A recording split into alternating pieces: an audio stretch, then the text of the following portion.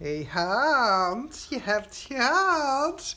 Ik heb echt speciaal voor dit filmpje voor jou een Michael Kors bril gekocht. Sorry, niet zo gek toen aan moet ik.